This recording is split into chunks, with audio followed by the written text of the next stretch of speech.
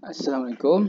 So today we're going to continue our part 2 of the waves, the introduction. So we already discussed the meaning of waves, the properties, the characteristics. So we're going for the graph analysis of the graph. So again, before we discuss about the graph, make sure you still remember the motion of an oscillation. So just make a simple comparison with a pendulum bob. So macam biasa mata awak kat sini, awak anggap ni satu pendulum. So dia gerak. Okay, this is position 1. Then return position 2. So dia naik kat sini. Position 3. Then return to its original position 4. So 1, 2, 3, 4 is one complete cycle. So if you compare the graph, so supposed to be like this. This is position 1, 2, 3, 4. Okay. Characteristic of the graph, we can uh, we can analyze, discuss, kita boleh bincang daripada satu gerakan ni kita boleh bincang dua bentuk graf. Satu kita bincang displacement, you can see here. Tengok muka surat 181 buku teks. Displacement against time and then motion yang sama eh, bukan benda baru motion yang sama juga kita boleh analyze displacement against distance. So apa beza? Ini displacement against time. Displacement apa? Displacement of the particle. Particle ni gerak sampai sini. Berapa time taken untuk dia buat one complete cycle? Okay. At the same time, masa dia bergerak tu, berapa wavelength, berapa panjang gelombang dia? Okay, so ini graf. Ini displacement of particle. Ini distance of the wave. Ingat eh, ini partikel yang gerak atas bawah atas bawah tu. Ini yang goyang-goyang, yang vibrate. Ha, bila dia vibrate, dia bergerak. So, berapa panjang gelombang dia. So, from this two, kita boleh cari speed of the wave. Kita dah bincang. Speed, dia punya equation. V equal to S over T. So, S in this case. Okay. Is the panjang gelombang. T is period. So, sama juga T because F equal to 1 over T. So kita boleh dapat ganti kat sini. So kita boleh dapat V equal to lambda over T or V equal to lambda F. So frekuensi darab panjang gelombang. So dapatlah speed. Ini speed apa? Speed of the gelombang lah. Speed of the wave. Okay, cuba tengok graf ni. Saya zoom sikit. Okay, so make sure you baca tajuk graf yang betul lah. Displacement against time.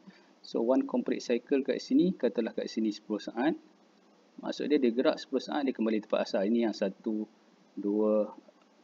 3, 4. Okay, ini cycle kedua. So, kat sini 20 saat. Okay. Nak ambil dari sini ke sini pun tak apa. Dari sini ke sini pun tak apa. Sama je lah untuk graf displacement against distance so one complete cycle dia mesti sefasa kat sini 1 2 3 4 juga. 1 2 3 baru gelombang tu cukup. So gelombang tu cukup baru kita boleh ukur panjang dia berapa. So panjang ni. So katalah kat sini 10 cm ha, so kalau half dia 5 cm lah. Kat sini 20 cm lah.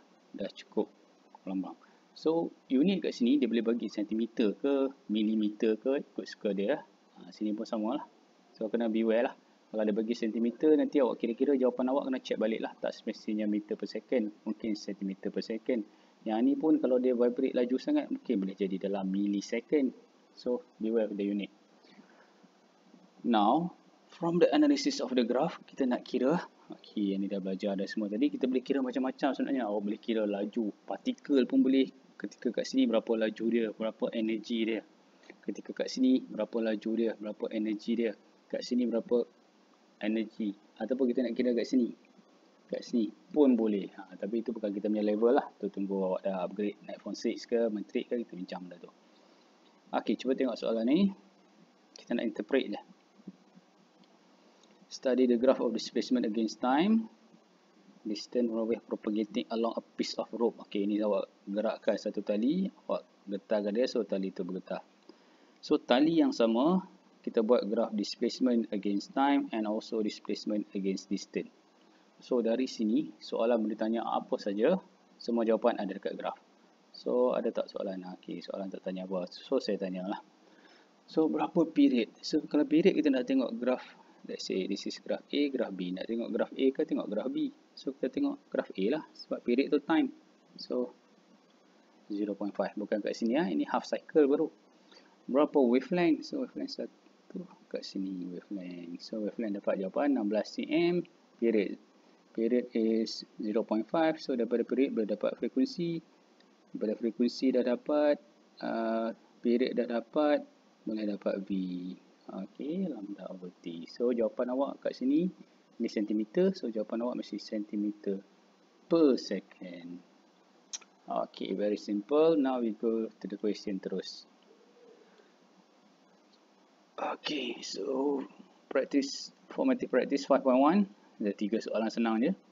Shows a graph displacement against time for a wave. What is meant by amplitude? So, amplitude dia bukan tanya berapa amplitude, dia tanya apakah yang dimaksudkan dengan amplitude. So, ingat eh, kita tarik sampai dah kita tak boleh tarik. So, amplitude is maximum displacement. Maximum displacement apa? Maximum displacement of the vibration particle lah. Kalau nak lebih lengkap lagi. Particle tu dia vibrate atau dia oscillate sampai mana paling jauh. Dia boleh bergetar. Ha, itu maksud maximum displacement amplitude. Determine the period of oscillation then calculate the frequency. So period ini graf apa? Okay, displacement against time. So kat mana period? One complete cycle is 0.4 second. So 0.4 second is the period. So from the period you get the frequency. Frequency unit apa? Second negative 1. Ni tak standard lah. Standard kita tulis Hertz. HZ. H-E-R-Z-T Hertz. Okay compare and contrast progressive and stationary wave. Okay, yang ni awak boleh tengok video yang sebelum ni lah. Tak explain.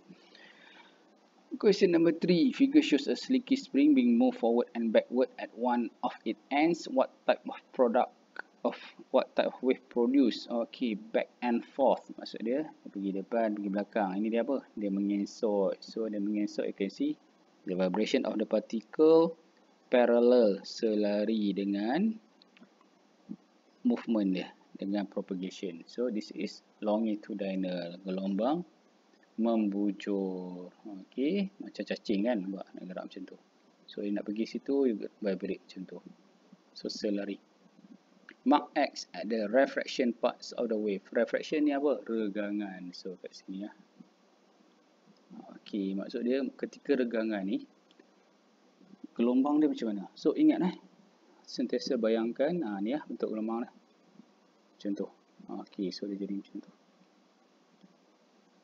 What is the wavelength? Ok wavelength kita nak one complete cycle. So kat sini awak tengok dia bagi dari sini ke sini 10 cm.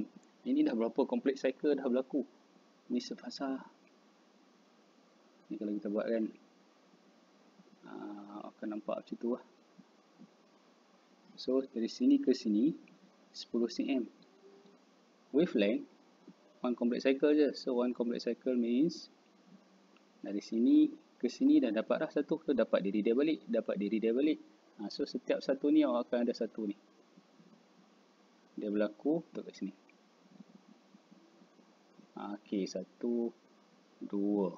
Ha, so kita nak wavelength. Wavelength bukan 10 cm lah. Wavelength sini je. 5 cm ok itu jawapan dia Alright, so tajuk ni sangat-sangat senang. So next class kita akan bincang 5.2 pun senang juga. Okay, thank you.